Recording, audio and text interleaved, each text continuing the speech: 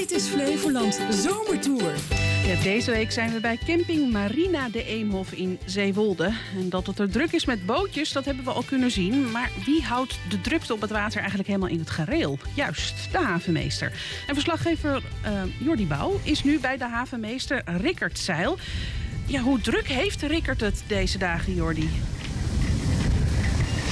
Nou, dat is een uh, hele goede vraag. Ik, zit nu op uh, de Valk. Dat is een soort bootje en daar wordt ook mee gevaren. En ik sta nu eigenlijk uh, aan de voorkant van de Valk. En ik ga nu iets naar achteren om met Rikker te gaan praten. Oh, wat is zo. Het is wel, het is wel fris trouwens, hè, met de wind. Ja, het is een, een, een Nederlandse zomer noemen we dat. Hè. Het, veel wind. Temperatuur is prima, maar ja, voor de, voor de echte Nederlander moet de zomer toch uh, strak blauwe lucht zijn. En, uh, voordat het wat drukker wordt, ja. ja. En Rickert, jij bent de havenmeester. Wat doet hij nou precies? Ik, uh, ja, ik zorg in, in dit seizoen ervoor dat iedereen te gast, die te gast komt een lichtplaatsje krijgt. dat iedereen op de juiste plek ligt. En ja, de rest van het jaar doen wij uh, ook uh, de winterstalling van de boten. Dus na het seizoen dan, uh, dan gaan de boten het water weer uit. Die worden in de hal of buiten op de kant gezet. En dat, dat doen we zo tot december. En dan in december, januari gaan we een beetje in winterslaap. Het is dus nu hoogseizoen. Hoe druk heb je het nu met de boten en de jachten?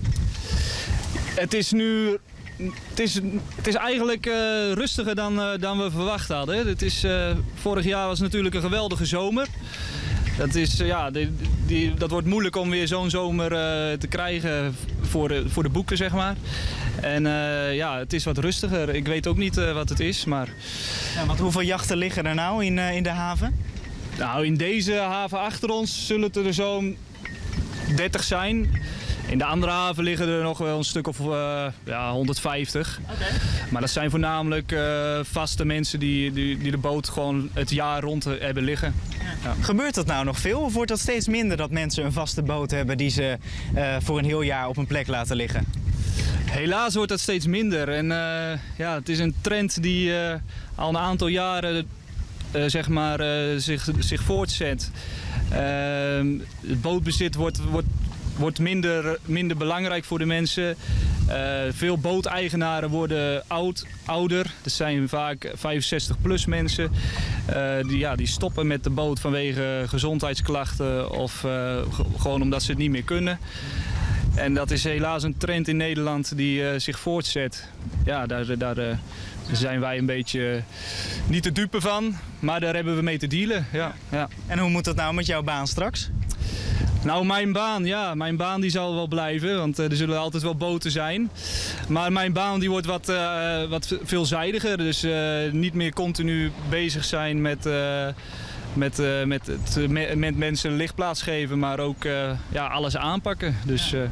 Is dat nou het enige wat je hoeft te doen als je de meester bent van de haven? De mensen alleen een plekje geven of hebben ze nog andere dingen waar je ze mee moet helpen?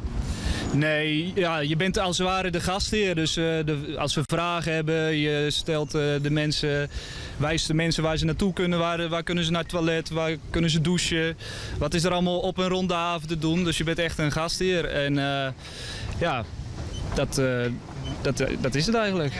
Uh, het is een familiebedrijf. Je bent Rickert Zel, de zoon van, hè, de eigenaar.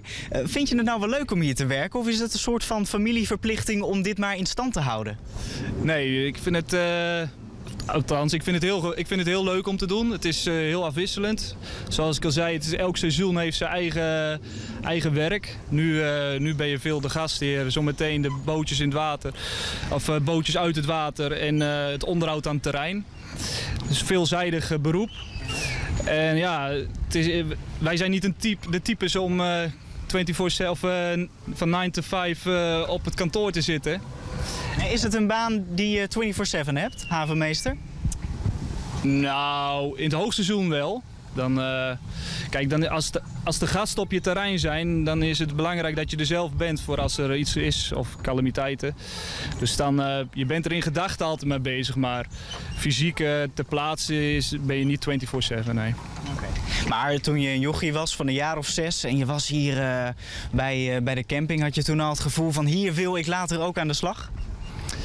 Nou, toen ik een jaar of zes was, was ik heel druk met uh, boomhutten bouwen en, uh, en spelen. Toen had ik nog niet echt het gevoel, maar ik ben uh, ja, vanaf mijn twaalfde zeg maar een beetje erin gaan rollen door vakantiebaan te doen. En ik heb ook uh, tijd, niet, een aantal jaren niet hier gewerkt. En ben ik uh, in, de, in Spakenburg, in de vis en overal pizza bezorger geweest.